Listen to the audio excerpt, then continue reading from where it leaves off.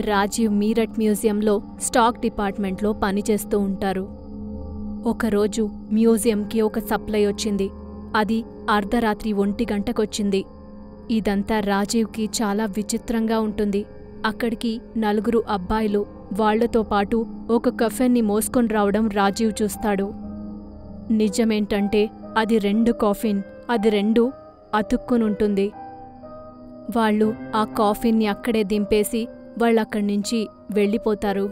Sir ఇది Egypt నుంచి వచ్చిందనుకుంటా sir.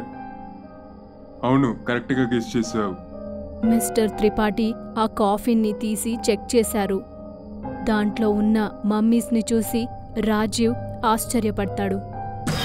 ఆ రెండు మమ్మీస్ ఒకరి చేతులొకరు పట్టుకునుంటారు. అప్పుడు ఆ రెండు చేతులకు చాలా భారమైన ఒక బంగారు గొలుసుని కట్టి ఉంటారు. ఈ మమ్మీ ఈజిప్ట్ ఒక పెరో మరియు రాణి నెప్టోరియాది ఇద్దరూ ఒకరినొకరిని చాలా బాగా ప్రేమించుకున్నారు. ఏంటి వీళ్ళిద్దరు ఒకేసారి చచ్చారా? వీళ్ళిద్దరి యొక్క చేతిలో బంగారపు సంఖ్యలు ఎందుకున్నాయి? పెరోకి రాణి అంటే చాలా చాలా ఇష్టం. ఈ బంగారపు సంఖ్యల్ని వాళ్ళు పెళ్ళి రోజు వేసుకున్నారు. ఎప్పుడైతే నెఫటర్స్ వచ్చారో అప్పుడు రాజు కూడా ఆమెతోనే చావడానికి సిద్ధమైపోయారు. వాళ్ళ వీరుల దగ్గర ఇలా వీళ్ళిద్దరూ కలిసి ఉండేటట్టు ఒక శవపెట్టికని తయారు చేయమని చెప్పారంట.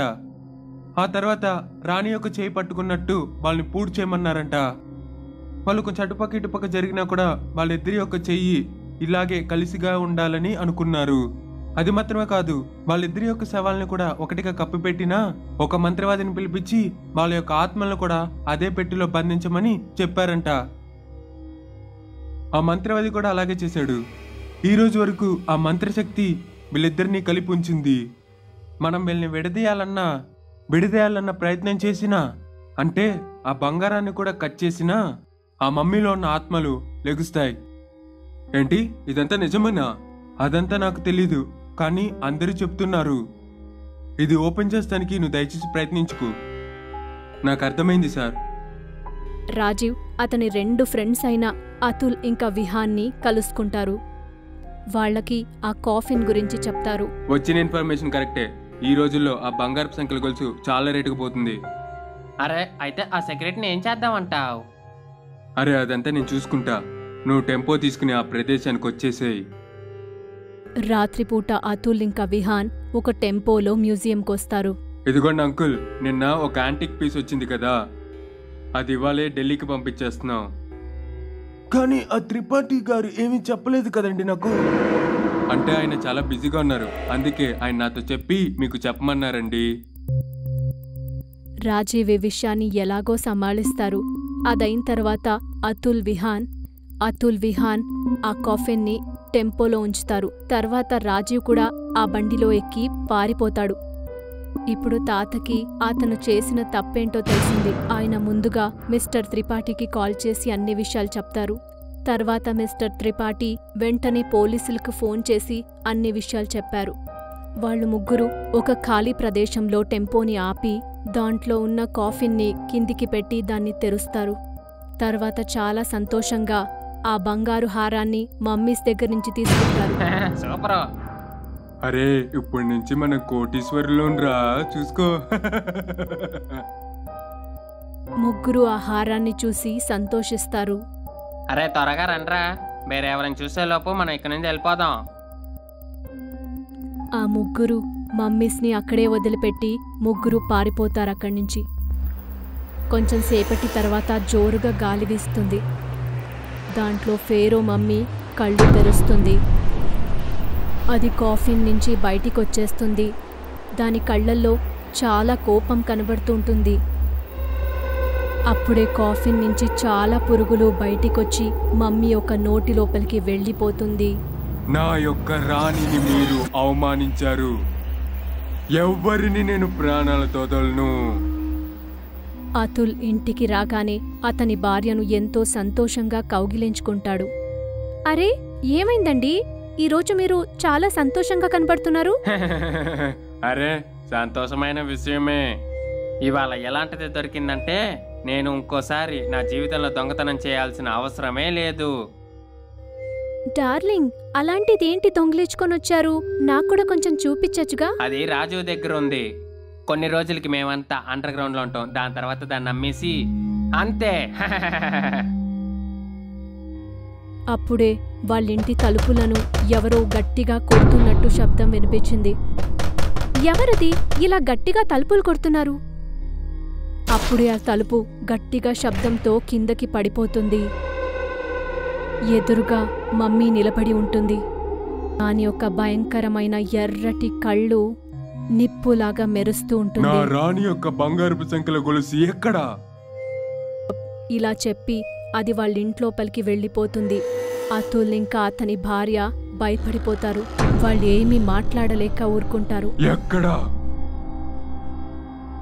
ఇలా చెప్తూనే అతుల్ ఒక గొంతు పట్టుకుని వాడిని పైకి లేపేస్తుంది. అది అది అది అది నా దగ్గర నా దగ్గర లేదు. రాజ్ రాజు దగ్గర గానీ విహాన్ దగ్గర గానీ ఉంటది. ఏయ్! మమ్మీ చాలా గట్టిగా అరుస్తుంది. దాని నోట్లో నుంచి పురుగులు బయటికి రాగానే అతుల్ ఇంకా అతని భార్యకు అంటుకుంటుంది.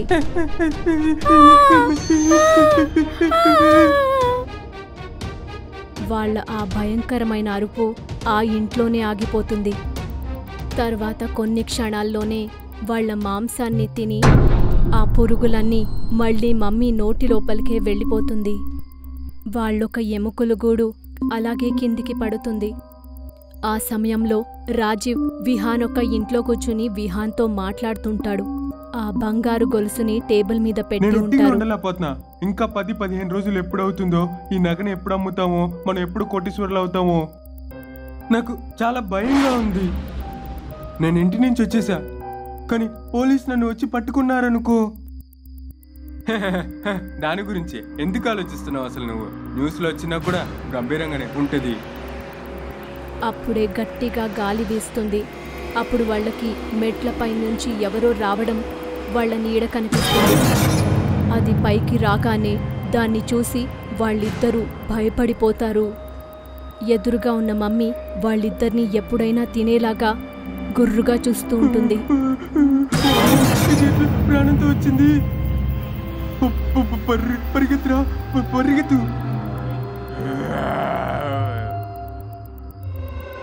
మమ్మీ నోరు తెరుస్తుంది.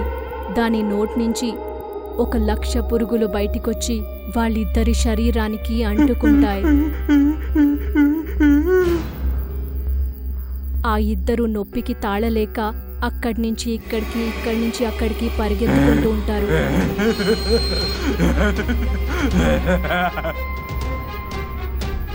వాళ్ళొక రక్తపు చుక్కలు ఇంకా కొంచెం మాంసపు ముక్కలు నేల మీద చిన్న భిన్నంగా పడతాయి. వాళ్ళు ఎముకలు గూడుగా మారిన తర్వాత ఆ పురుగులన్నీ మళ్ళీ మమ్మీ ఒక నోటిలోకి వెళ్ళిపోతుంది. మమ్మీ ఆహారాన్ని తీసుకొని ఆ ప్రదేశం నుంచి బయలుదేరేస్తుంది. అప్పుడే కమిషనర్కి ఒక కాల్ వస్తుంది. ఆ మమ్మీ మా మందల నుంచే వెళ్తుంది. మీ దగ్గరికే వస్తుందండి. మేము షూట్ చేసి చూసాం. కానీ దానికి అసలు ఏం అవ్వలేదు.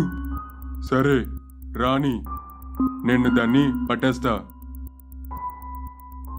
ఇలా చెప్పి కమిషనర్ కాల్ కట్ చేస్తారు. అయితే ఈ మమ్మీని ఇప్పుడు ఎలా అడ్డుకోవాలండి? ఇది అసలు ఎక్కడికి వెళ్తుంది? సార్ ఆ మమ్మీ ఏమీ తప్పు అసలు చేయలేదు. మనం చేసిన తప్పు వల్లే అది ఇప్పుడు ఇలా చేస్తుంది. దాన్ని ఆపాలంటే ఒకే దారుంది. మిస్టర్ త్రిపాఠి కమిషనర్కి మమ్మీని ఎలా పట్టాలో చెప్పారు. కమిషనర్ ఆ కాఫీని దారిలోనే వదిలేస్తారు. ఆ తర్వాత అందరూ చెట్టుకు వెనుక భాగంలో దాక్కుంటారు. మమ్మీ ఆ కాఫీన్ దగ్గరికి రాగానే అది చాలా సంతోషపడింది. మన యొక్క ప్రేమ చిహ్నాన్ని తీసుకొచ్చేసాను నువ్వు ఎగు. మనిద్దరం ఈ లోకంలో సంతోషంగా జీవిద్దాం. ఇది వినగానే నెఫిటేరియో కూడా కళ్ళు అది కూడా లేచి కూర్చుంటుంది. ఫేరో ఈ అత్యాశ పట్టిన ప్రపంచాన్ని శాసించడానికి ఏదీ లేదు. మనం మీ ప్రపంచంలో జీవించడానికన్నా ఈ కాఫిన్ లోపలికి మళ్ళీ వెళ్ళి జీవించడం చాలా మంచిది. ఇంతకు ముందులాగే. ఫేరో నెఫిటెరి మాట వింది. తర్వాత ఇద్దరూ కలిసి ఆ కాఫిన్లో పడుకుంటారు. ఫేరో ఆహారాన్ని మళ్ళీ వాళ్ళ చేతులకే కట్టేస్తారు. ఇద్దరూ కళ్ళు మూసుకుంటారు. తర్వాత త్రిపాఠి ఇంకా పోలీసు బయటికొస్తారు. సార్ సార్ ఇది మంచి సమయం. త్వరగా మూసేయండి. కమిషనర్ రెండు కానిస్టేబుల్కు చేయి చూపించగానే వాళ్ళు కాఫీని మూసి పెడతారు నేను ఈ ప్రదేశానికి నా సెక్యూరిటీని ఎక్కువ పెంచుతాను. కమిషనర్ ఆ కాఫీని ఢిల్లీ మ్యూజియం ఒక నేషనల్ గ్యాలరీ ఆఫ్ మోడర్న్ ఆర్ట్స్కు పంపించేస్తారు. తర్వాత దానికి సెక్యూరిటీ కూడా పెంచుతారు. ఇప్పటికీ కూడా ఫేరో ఇంకా నెఫెతెరి ఆ కాఫిన్లోనే ఉన్నారు. తర్వాత వాళ్ళ ప్రేమకు చిహ్నమైన ఆహారం ఇప్పటికీ వాళ్ళ చేతులకే కట్టివేసి ఉంటుంది.